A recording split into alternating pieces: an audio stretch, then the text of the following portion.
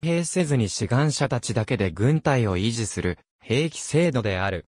英語では、オールボランティアミリタリーシステムと呼ぶ。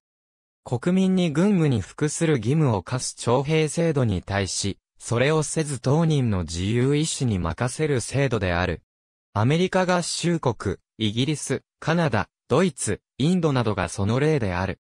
主に個人の自由が最高の権利と考える、自由主義者や反軍国主義者が支持する兵器制度である。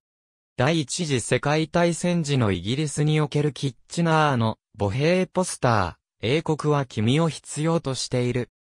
当時イギリスでは徴兵制は敷かれていなかった。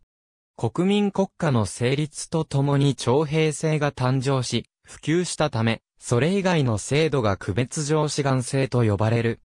徴兵制の国家にも、自らの意思で入隊する志願兵は存在するが、志願制とは区別される。20世紀後半から2010年代にかけて、現状にそぐわなくなった徴兵制が廃止、縮小され志願制に復帰する国家が増え続けている。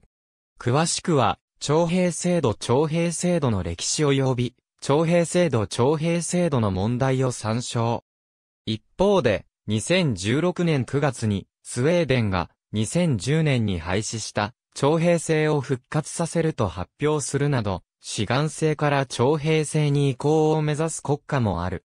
スウェーデンの専門家は、志願制では、兵士の質や量を確保することができないとしている。現役低減年齢は35年とし、40年を服役の周期とする。朝鮮、台湾における志願兵制度については、朝鮮人日本兵、台湾人日本兵をそれぞれ参照。ありがとうございます。